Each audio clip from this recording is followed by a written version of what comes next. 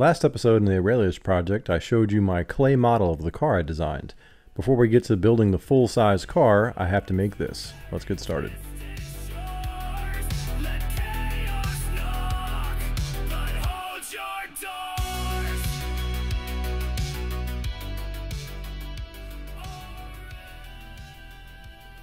Here's all the stuff I use. It's all from Smooth On.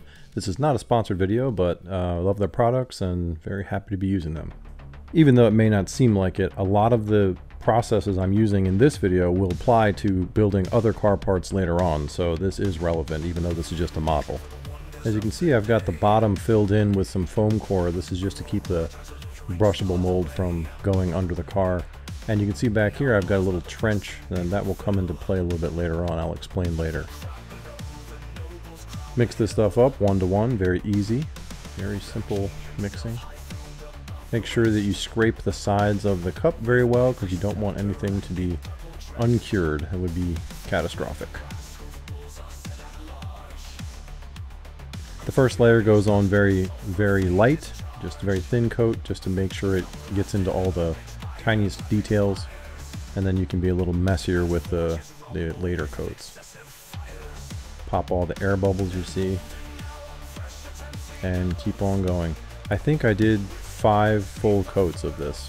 So it took a long time. It's like 60 minutes between coats.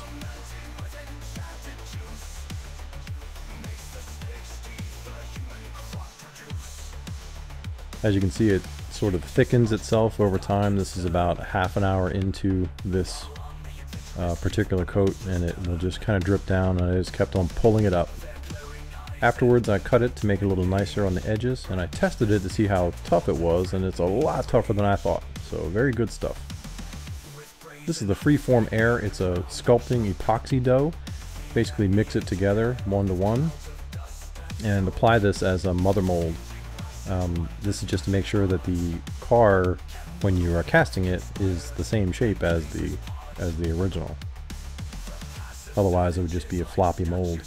I put some tape around the edges here where the flanges would meet and um, I built four parts to bolt together. Once I bolted it together it's time to cast the resin. This is Smooth On's Onyx Fast. A little bit of silicone spray to keep it from sticking. Mix it up and pour it in and this is where that ledge comes into play in the back as you can see. Um, it keeps it from spilling out very much. It still spilled some but keeps it from being too bad when it uh, when I do this roto roto molding, roto casting.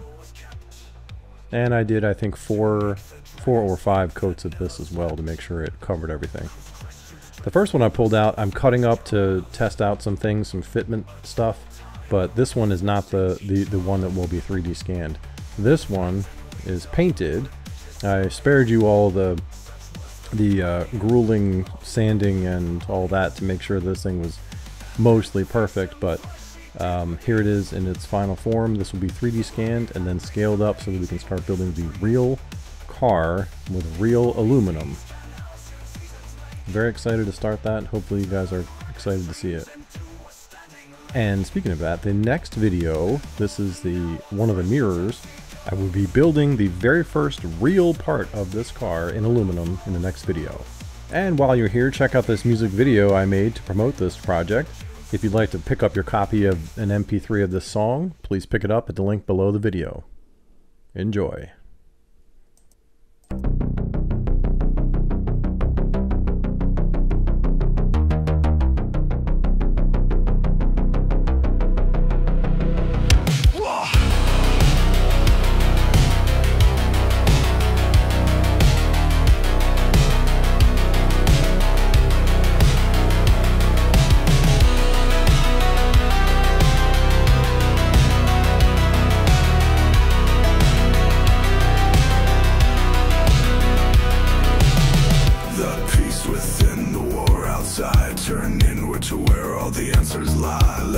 in God and you will find the world may break but not your mind. Tread silently in these hallowed halls. From dust and dirt to polished marble walls. Want what you have and you will want no more. Purple robes about a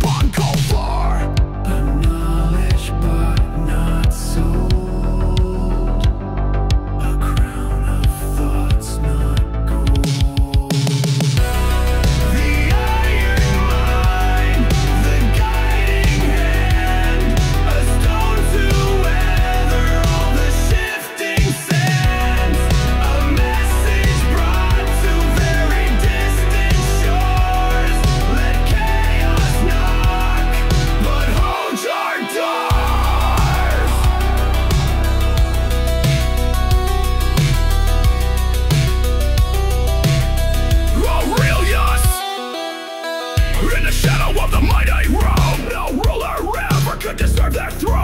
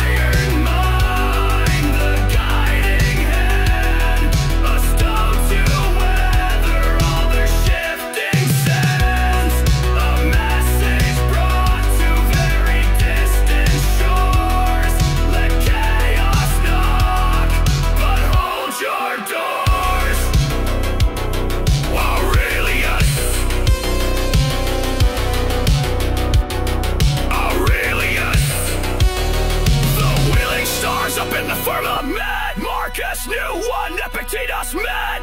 Pain and loss, his daily bread! The echoed wisdom of what Zeno said